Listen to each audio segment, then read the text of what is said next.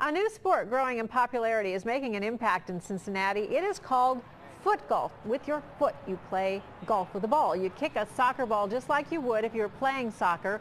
The idea is to move it down the fairway and get it into specially designed holes.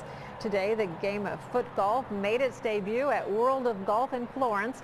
A representative from the Cincinnati Saints was on hand to demonstrate some techniques. There was also a long kick competition. Foot golf will be offered on the front nine each Sunday after 2 in the afternoon and weekdays from 1 until 4. It's showing up at three or four places around the tri-state.